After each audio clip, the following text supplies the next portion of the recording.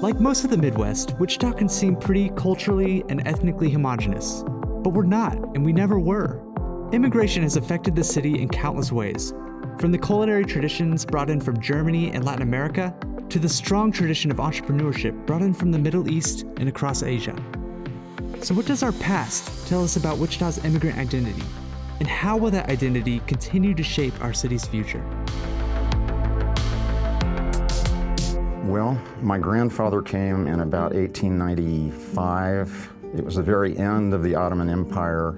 Life for Christians in the Middle East was getting increasingly difficult. So many Arabic, Syrian, Lebanese emigrated to the United States. This is Warren Farha, owner of Eighth Day Books in Uptown Wichita.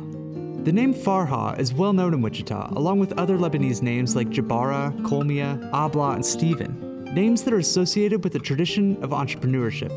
You remember that Wichita was basically 20, 25 years old as a city. It was wide open with opportunity, especially for merchants. They all sort of gathered on the near west side of Wichita in what is now Delano. And so there was a real cohesive sense of community.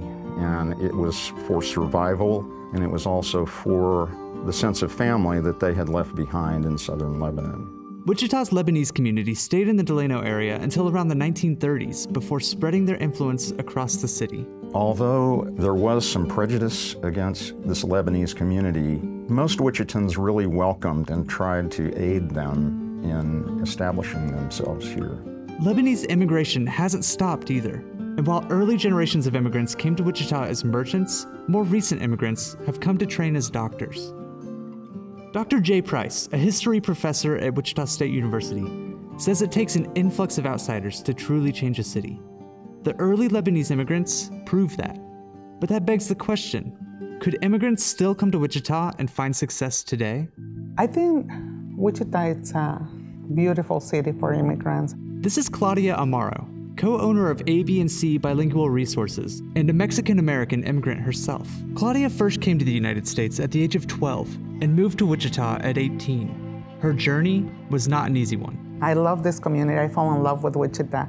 And then later, I fall in love with my husband here in Wichita. We got married in 1998, and my son was born here in Wichita in 2000. We were just having a really happy life in Wichita. He had a business. I was a stay-at-home mom. I was getting ready to start a business myself. And then one morning he was detained by a police officer and then he was turned into immigration later. I went and tried to help him and both of us were arrested. I was uh, released the next morning, um, but his case was a little bit harder. He ended up being deported in January of 2006. I decided to um, follow my husband with my son, who was six years old then, in 2007, a wave of violence came into Mexico. It was very hard for my family. We saw it first. We saw bodies hanging from bridges, shootings every night. And then one day in 2012, my husband was kidnapped for ransom by two police officers in Mexico. I thought I was never going to see him again. Fortunately, we paid the ransom and, and he was able uh, to come home. But at the time, I was feeling very desperate and I really wanted to come home. In 2013, I joined a group of dreamers at the border. Eight of us uh, who grew up in the United States and from different reasons were back in Mexico. And we presented ourselves, ourselves at, the, at the border and we asked President Obama to let us come back home. Amaro was detained for 17 days before being allowed back into the United States with her son.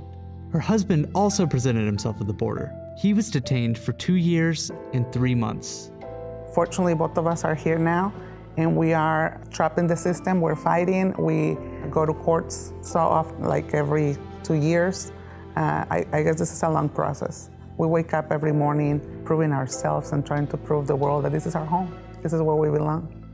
Amaro's story is reflected in countless Mexican immigrants trying to create a better future here in the States.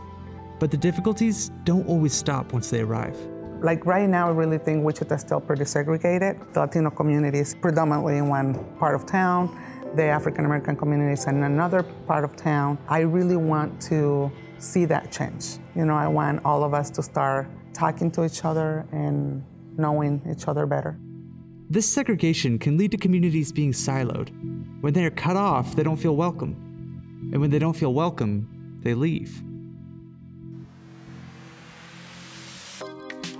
The majority of our students are uh, Hispanics, Vietnamese, and then there are uh, Chinese, Koreans, Arabic. Without exaggeration, I can say about 10 to 15 languages. This is Mohan Kambampati. He's the coordinator at the Wichita Indo-Chinese Center, a place where immigrants can learn important skills in their transition to living in Wichita, Kansas. As the director of the annual Asian Festival, Mohan believes the more Wichitans know about these groups, the better. Ignorance is not bliss. There are things, if you don't know the people, you, you misunderstand sometimes. The Asian Festival is one way to better understand the Asian cultures represented in Wichita. This October, the Asian Festival will be 38th annual Asian Festival. 15,000 people attend. And of course, I have to confess, 60% of them come for food. but it's a very good festival. I mean, these are very popular. But isn't culture more than just food? Shouldn't we also be trying to learn the values and the cultural identity and doing what we can to ensure immigrants feel comfortable sharing that? I respect also the United States a lot. I'm just so proud of this kind of mixed culture in me. You know, I came in when I was 12, and to me, I feel so blessed by being able to feel comfortable in both sides. Amaro says not everyone has that level of comfort. She has tried to help them by creating a Spanish speaking radio show, a newspaper, and becoming an advocate for immigrants across Wichita and the U.S. And with that radio show, I really want to bring up all the good things that we bring to this country, to this city. Just as the Farhas and the rest of the Wichita Lebanese community began moving out of the Delano neighborhood in the 1930s, Amaro says she hopes the Latin American community can feel comfortable spreading across the city in the future. I stand on the shoulders of giants. The sense of community is so powerful and so nourishing. People like me are deeply grateful for that.